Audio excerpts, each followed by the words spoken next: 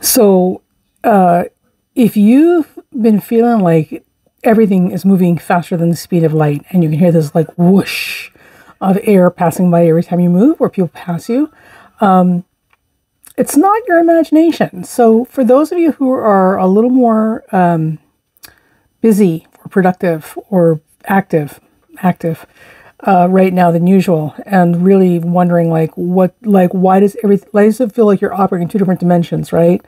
Because um, one is the here and now, and the other is like moving at the speed of sonic sound or whatever. Because um, I'm feeling it too. So it's not your imagination.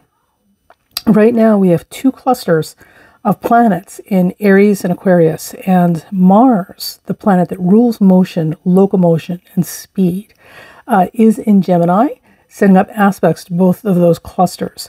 So it's really uh, this combination of things, this Aries, Aquarius, and Gemini combination with Mars in Gemini uh, and near the North Node, you know, and this and that and blah, blah, blah, blah, blah, like the whole laundry list of aspects.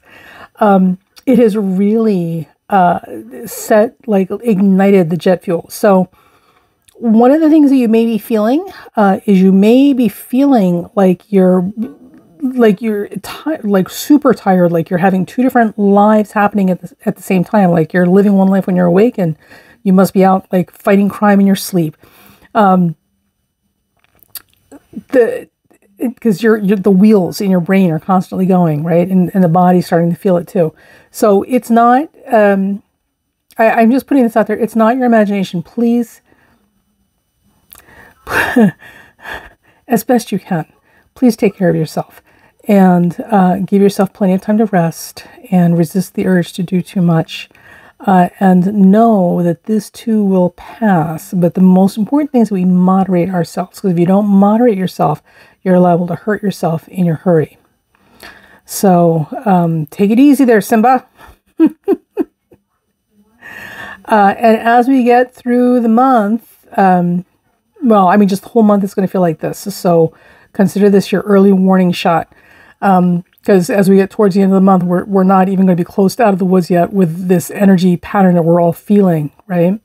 Um, literally, like you're trying to like ice skate. Have you ever been, if you've ever ice skated or done ice skating, you know what this feels like, where you're only making small moves and yet the the ground underneath you seems to be moving a lot faster uh, than you're moving, right? That's what we're feeling all month long. So this is a very very important time to manage and monitor yourself so you can get maximal potency and effect from the month because this is a month of brand new beginnings and a whole lot of um, uh, space being made on the table for new things and a whole lot of uh, space being cleared so that other things can grow and, and develop in the in the openings. All right, talk soon.